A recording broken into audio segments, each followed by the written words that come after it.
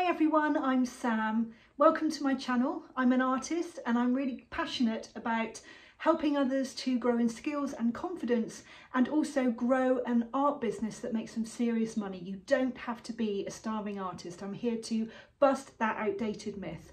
So in this video, I'm going to be talking about how to grow on Instagram in a healthy way. Might be a little bit controversial compared to what you might hear out there, but I think it's really important to stay okay in your mindset when you're growing on social media because it can become overwhelming and it can be really disheartening. So I've got my cup of tea, I've got my notes, let's get started.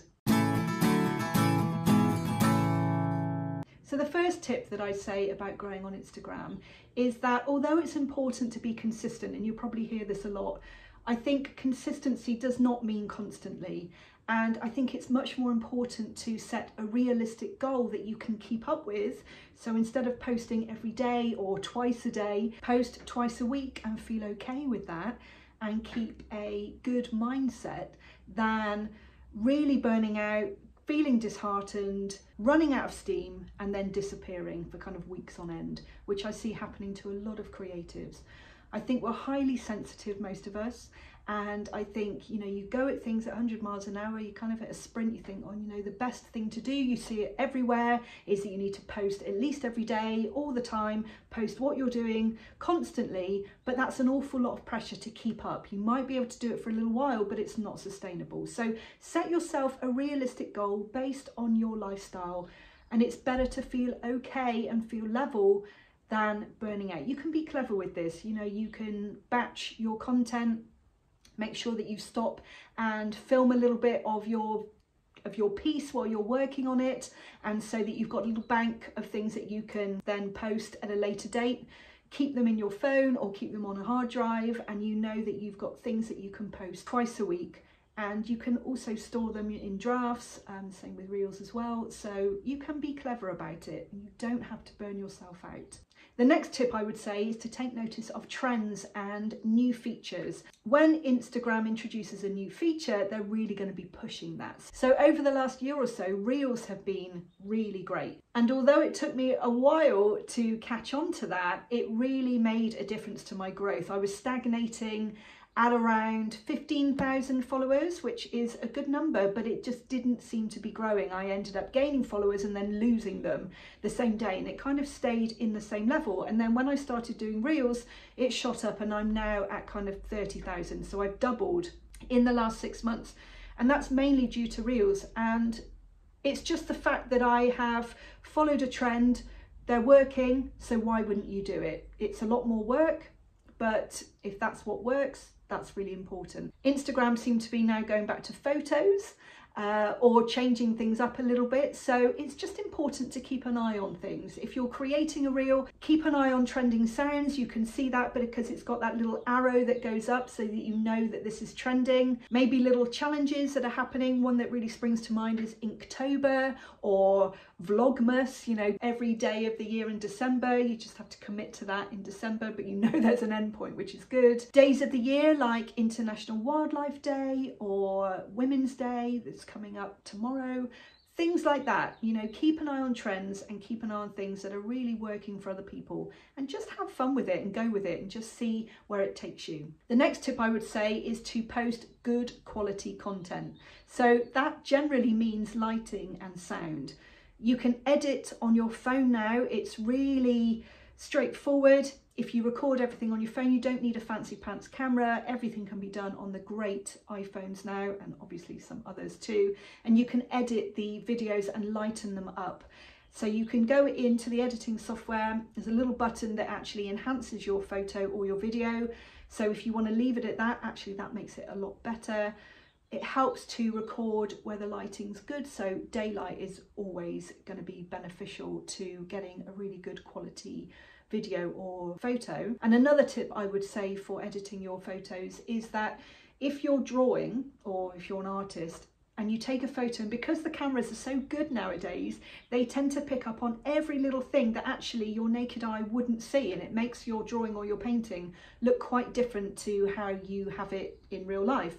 So there's something called noise reduction in your editing software. And if you just turn that up a little bit it just softens the look. So it looks much more like your original piece than it does with the editing software. So I, I, use that quite a lot. My next tip would be to answer messages as much as you can. Obviously, if you're getting lots of messages throughout the day, you don't want to spend the whole time on social media and it can be a little bit overwhelming and you just might not have enough hours in the day. But if you've got a small audience and you're starting to get people commenting on your content, then I think it's just really nice to say thank you at least and answer as many messages as you can. You're trying to build relationships with these people as well. This is social media and it's important to recognize that these are real people that are writing you lovely comments. They're taking time out of their precious day to write a comment saying how wonderful they think your work is or maybe ask you a question about your equipment. So I think if you have the mindset that you're going to answer and be as friendly and approachable as can be, then I always think that's better to build really healthy, good relationships with the people that are following you. My next tip would be to use different features like stories, reels, uh, photos, mix it up, use the stickers that are available in stories. They're really quite fun. They keep things interesting. You can create polls for your followers. You can ask questions. You can put music. You can put little funny emojis or things that really enhance your drawing or your post, whatever it is that you're posting. I just think it's really fun to keep it interesting. Those little sliders are good as well. People tend to like those.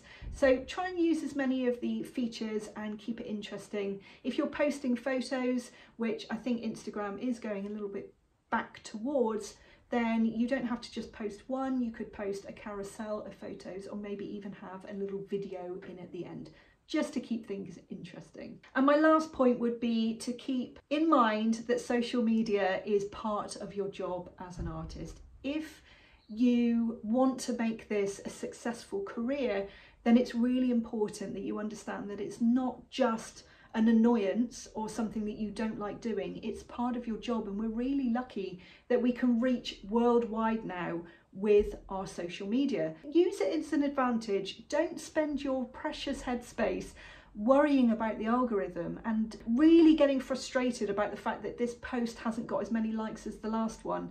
That is a slippery slope and it will really take you downhill to a place of frustration and burnout really quickly.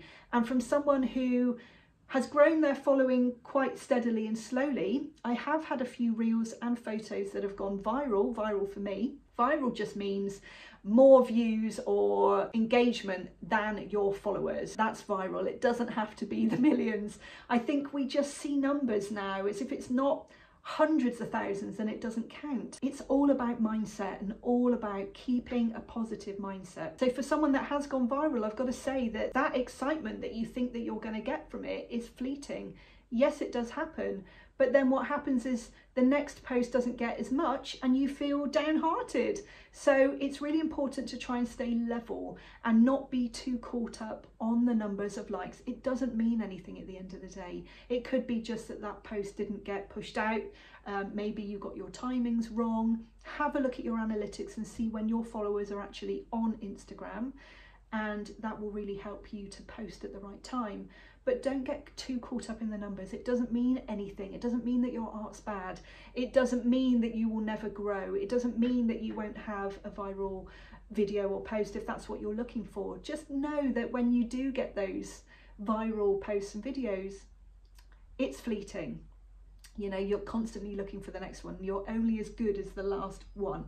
So I think it's important to stay level regardless of whether it's good or bad don't spend your time worrying about the algorithm and almost using it as an excuse not to post. Be consistent, show up as you, be authentic, and try and keep that positive mindset that you're just kind of plodding away and it's part of your job, it's just part of your work. And actually, there are pros and cons to everything. So, if we can look at the positive side of things and not focus too much on the negative, then I think that's really important for you to stay consistent and build the business that you love, doing what you love every single day. So I really hope you found those tips helpful. I'm really passionate about people growing a healthy mindset around your work, having a business that you love, not one that feels like a slog, and earning really good money from it too. Because as an artist, you don't need to struggle. We can be really successful and do what we love every day too. It's all about creating the life that you love. So if you did enjoy this video, please don't forget to like and subscribe. To see more, I'm going to be bringing out art business videos every Friday and then on Tuesdays I'm going to be bringing out art tip videos, tutorials and workshops to help you grow your skills and confidence as an artist too. So lots of love and I really look forward to seeing you next time. Bye for now.